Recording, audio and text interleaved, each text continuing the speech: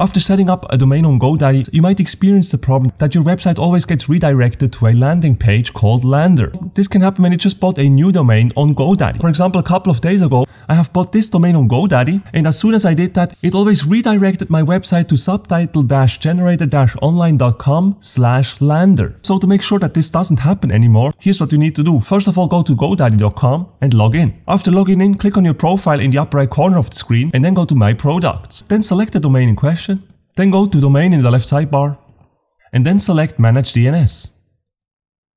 In your DNS records, then check if you have an A record like here that is actually saying parked here for data. If that is the case, you then have to get rid of this A record. You can do so by simply pressing on the bin symbol right here to delete the record. Whenever you get a new domain on GoDaddy, there's a high chance that you will find this parked record in your DNS records. And as soon as you will delete this record, your website is not going to be forwarded anymore with slash lander. And that's it guys. This is how you solve the slash lander forwarding problem on GoDaddy. If you enjoyed this tutorial, make sure to smash the like button and subscribe to my channel. Have a good one. Bye.